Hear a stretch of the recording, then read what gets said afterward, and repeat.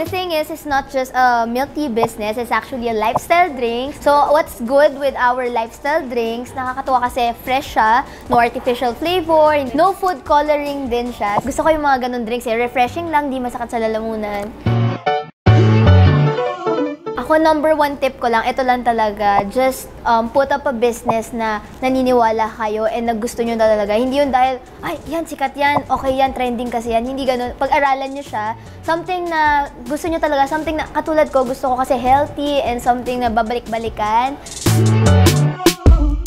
It was super fun. Akala ko talaga medyo nakaka-pressure siya kasi we're all here eh. May friends, may YouTube friends na talagang may idols. Masaya. Family-family lang.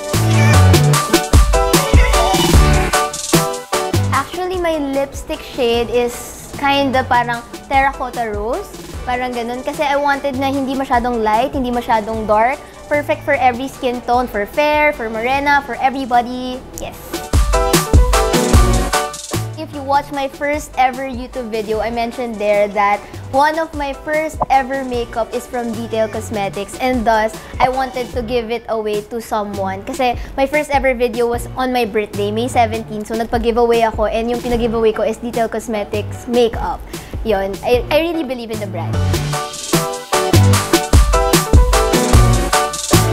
Hi, I'm Hazel King and I'm living beauty in every detail.